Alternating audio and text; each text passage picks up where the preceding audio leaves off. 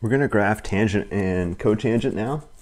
We're going to graph tangent first, and we don't know what it looks like. It's going to look different than the other four graphs that we just got through.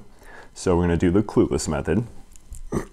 and then when we're done graphing tangent, we're going to just graph the reciprocal, which is cotangent.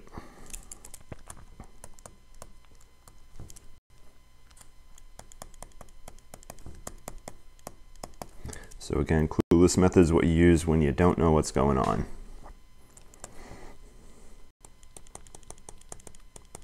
So I'm going to take the exact same x values that we took before, which are basically the, the small ones starting at 0, going the positive direction.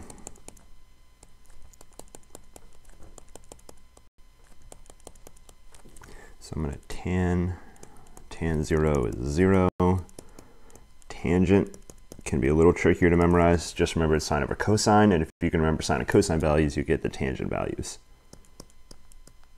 We're going to need decimal approximations for these. Pi over 4 is nice and easy, that's 1. Tangent pi over 3 is square root 3, and pi over 2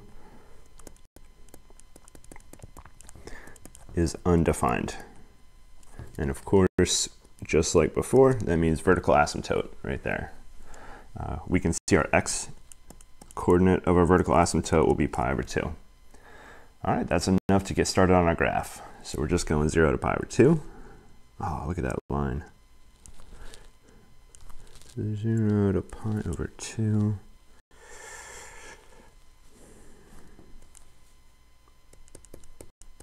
I'm plotting a bunch of points, so I'm um, drawing this a little bit bigger. And let's see, I'll just label some x value is pi over 4. That's not pi over 6, that's pi over 6. Pi over 3. All right. Um, we got 0. All right, so at 0 we got 0. Pi over 2, vertical asymptote. So that's just the first and the last right there.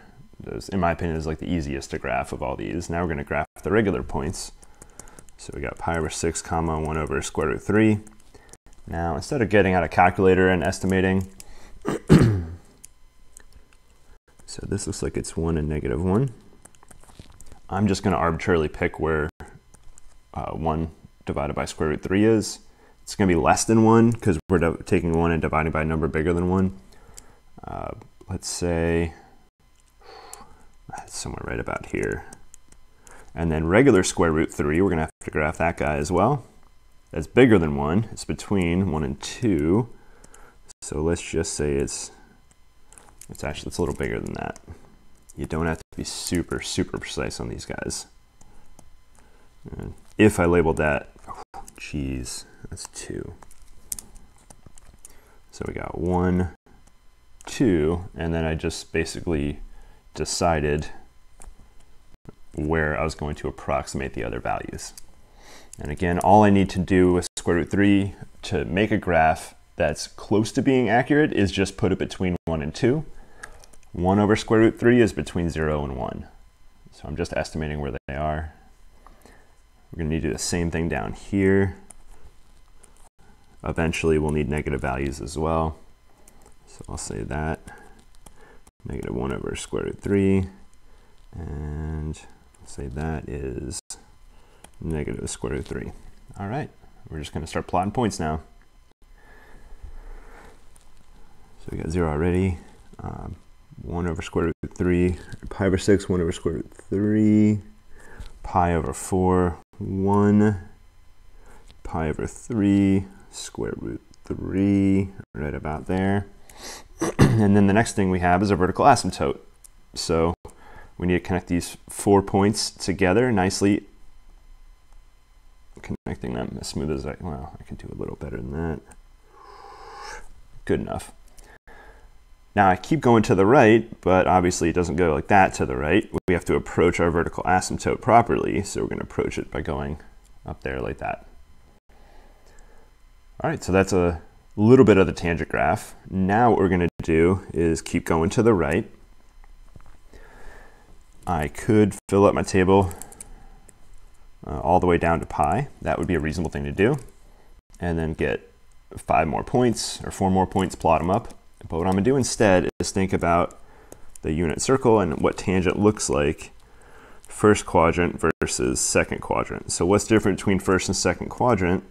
Here we had positive, positive. Over here, second quadrant, we go negative, positive. So basically, we're going to have negative values.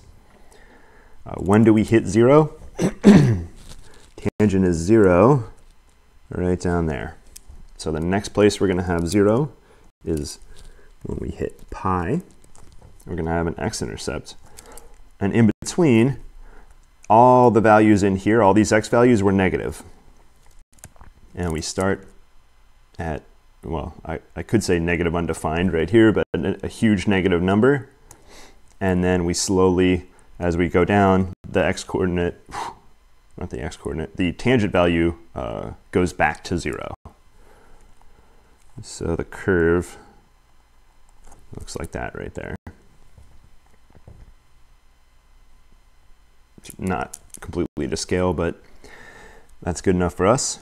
So this is our uh, one period of tangent. That's only one period. Tangent and cotangent have different periods than sine and cosine. So tangent and cotangent have period of pi.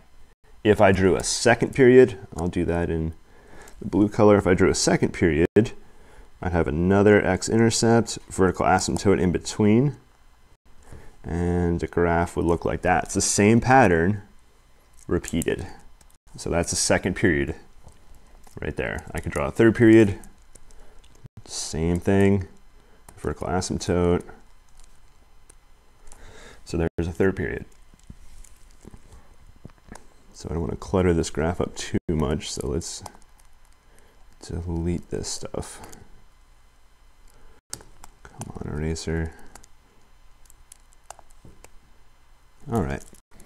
So we'll just draw a stylized version with less information, easier to remember. We're only going out to pi. We have vertical asymptote in between.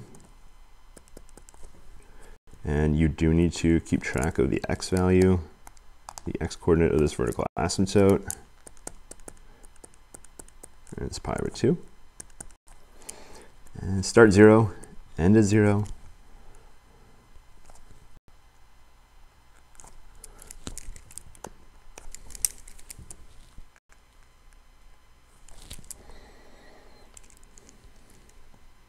all you need for tangent right there. So next up, we're going to do cotangent. so we're going to take this graph and reciprocate it. And it's the same process we did before.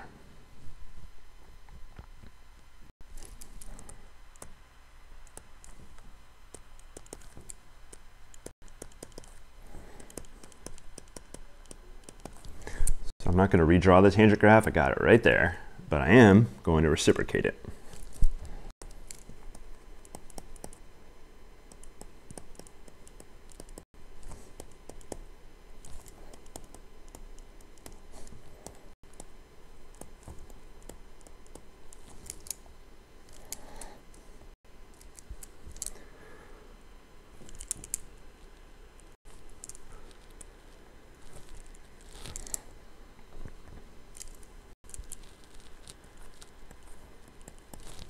So we're going 0 to pi, just like a tangent function.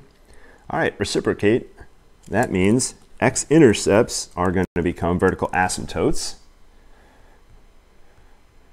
So let's get those going first. Vertical asymptote. So at the beginning and end of our period, there's vertical. Now, let me get a different color here. Man, it's too skinny. That'll work. Vertical asymptote and vertical asymptote right on the y-axis.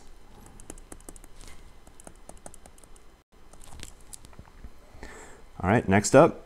Ah, what about the original vertical asymptote that was undefined? Well, let's think about that. Here's what we saw as undefined. Uh, what is the reciprocal. So in this, there, in math, there's no try, there's only do. So if I write the reciprocal, and then we have multi-story fraction, so we're basically getting uh, 1 divided by 1 is just 1, so 1 times 0. Our reciprocal of undefined is actually 0, meaning we get an x-intercept where our original function had a vertical asymptote. That's a little bit strange. Uh, but if you think about the way reciprocals work, if you reciprocate twice, you should get back where you started.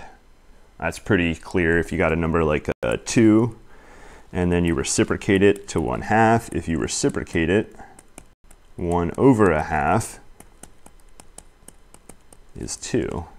So that's the same as 2, and if you reciprocate again, you get a half reciprocate again, you get 2, etc., etc. So this reciprocation operation, uh, if you do it twice, it undoes itself.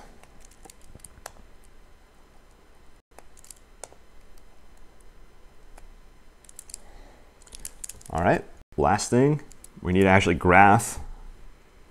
And we'll go back to blue for that. So we're going to graph and I'm going to pick some point. We'll just think about that point and that point right there. Um, I want to grab the y values that are 1 and negative 1 because they'll reciprocate to themselves. So it'll be something like that and that. And this graph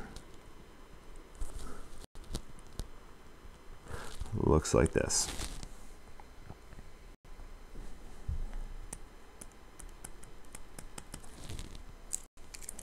Definitely don't need that y-axis way. Oh no, I mean that much y-axis.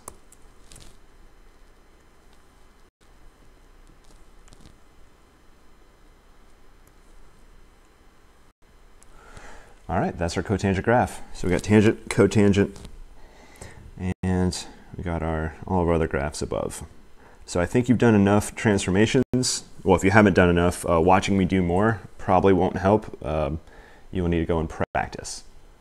So I recommend you um, definitely get some practice graphing. Uh, there's also the backwards question, which will be covered relatively well on WebWork, and that is given a graph, can you tell me where it came from?